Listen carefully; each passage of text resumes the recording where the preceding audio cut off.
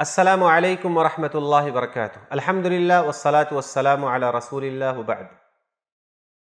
मोहतरम ज़रात हमारे समाज में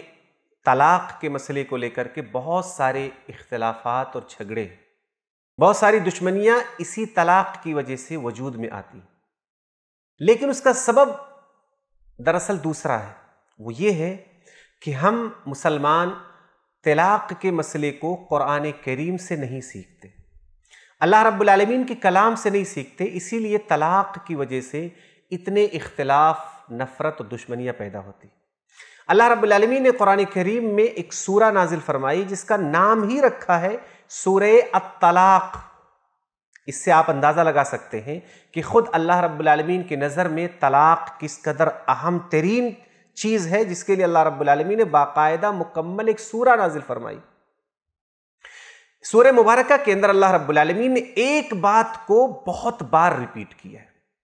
और वही वो चीज़ है जिसे अगर आप इख्तियार कर लें तो तलाक हो या खुला हो या फसखे निकाह हो, कभी भी हमारे बीच में नफरत और दुश्मनी पैदा नहीं होगी।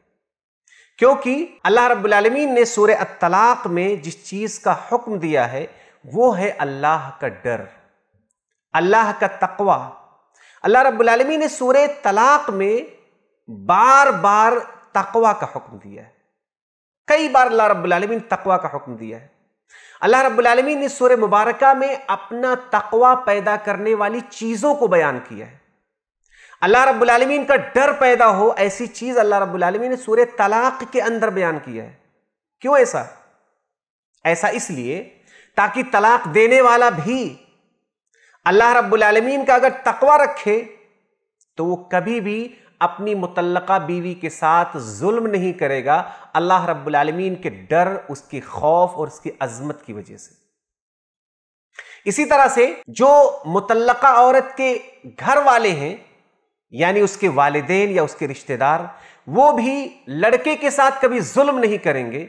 क्योंकि उन्हें भी अगर मालूम हो कि अल्लाह रब्बुल आलमीन ने सूर्य तलाक के अंदर क्या बयान किया है, और उनके दिलों में भी अगर अल्लाह की अजमत, अल्लाह का डर, अल्लाह का खौफ हो तो वो इस मामले में भी शरीयत की इत्तबा करते हुए किसी के साथ जुल्म नहीं करेंगे। दरअसल फसाद की जड़ ये होती है कि हम सूर्य तलाक नहीं पढ़ते हैं। सूर्य तलाक के अंदर जो अल्लाह की अजमत और उसकी बड़ाई और तकवा को जो बयान किया गया है, उसे हम जानते ही नहीं हैं। लिहाजा जिहालत में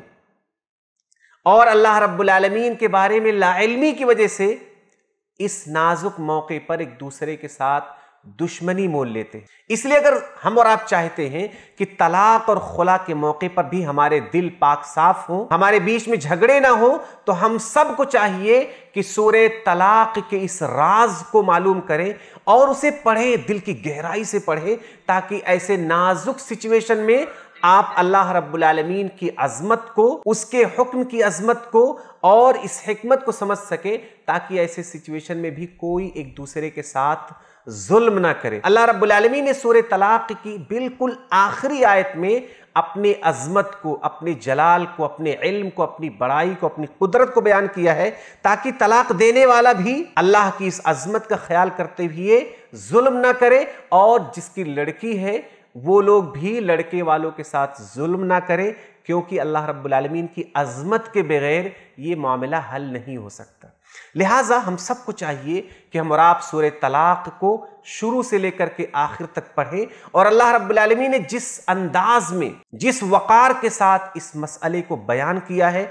उसी तरह इस मसले की अजमत को समझे, और अल्लाह रब्बुल आलमीन ने सूर्य तलाक के अंदर मुसलमानों के दिलों में अपना जो खौफ अपने हुक्म की जो अजमत बयान की है, उसे दिलों में अगर बिठा ले तो तलाक और खुला के मामलात के बावजूद हमारे दिल पाक रहेंगे, हमारे रिश्ते पाक रहेंगे, हमारे आपसी ताल्लुकात ख़राब नहीं होंगे और इस मामलात से हम इस तरह गुजर जाएँगे कि हम में से कोई गुनहगार नहीं होगा। इसलिए हम सबको चाहिए कि हम और आप, ख़ासकर शादीशुदा लोग सूर्य तलाक को बहुत तफसील से, बहुत ही गहराई से दिल और दिमाग खोल करके पढ़ें ताकि हम और आप सब मिल करके तलाक की वजह से पैदा होने वाले जो बुरे असरात समाज पर हैं, उसे ख़त्म कर सके और अल्लाह रब्बुल आलमीन के इस अजीम तरीन और हमत से पुर अल्लाह के हुक्म को नाफिज कर सके। अल्लाह रब्बुल आलमीन से दुआ है कि अल्लाह रब्बुल आलमीन हम सबको सूर अतलाक़ के राज को मालूम करने, उसे बरतने और इस नाजुक सिचुएशन में भी अल्लाह रब्बुल आलमीन के हुक्म पर कायम रहने की तोफ़ी अता फ़रमाए। आमीन। अल्लाम वरहमल वर्क ऐसे ही फ़ायदेमंद इस्लामिक वीडियोस देखने और मनहज सलफ़ पर किताब व सुन्नत की तालीमत को आम करने में हमारा ताउन करें, ताकि आपके लिए ज़रिया नजात, जन्नत के हसूल का सबब, साथ ही माल में बरकत व इजाफे का ज़रिया भी बने। आमीन। जजाक खैरन।